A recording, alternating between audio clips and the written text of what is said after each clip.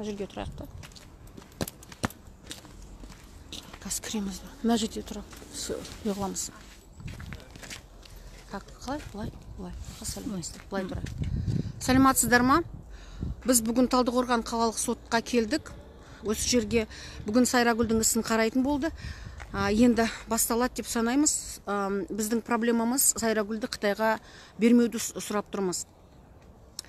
Сайрагүлдің өтініштері босқын бұл туралы оны қанағаттандырған жоқ сол үшін сотқа берілген.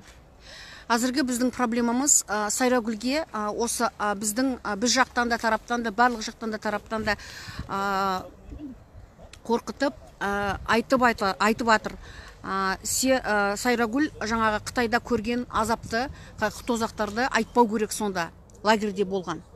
Ә, сол негізінде болған оқиғаны бұл шынын айтып отыр. Сол үшін біздің қорқып жатқанымыз сайрагүлді ә, қытайға бере ма деп.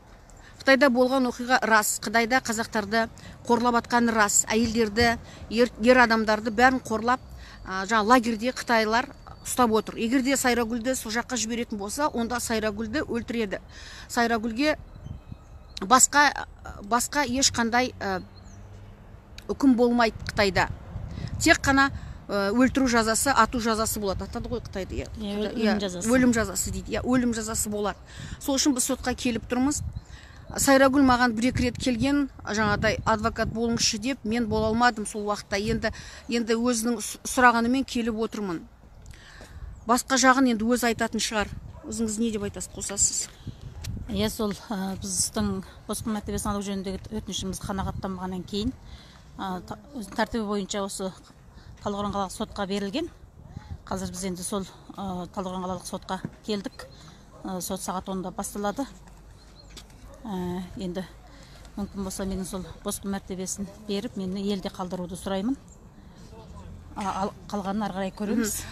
Енді международный стандарт дейді ғой да?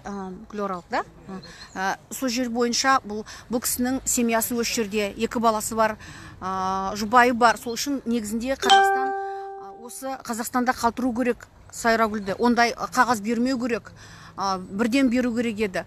Сол құқығы бұзылып жатыр деп санаймыз. Сол үшін бізден бәрінен де сұрайтынымыз осы мәселені шешіп осы қазақстанға қалтыруды себебі егер де біз сайрагүлді өзіміз өз қолымызбен қытайға өлім жазасына беру деген ол бізге сұмдық болады.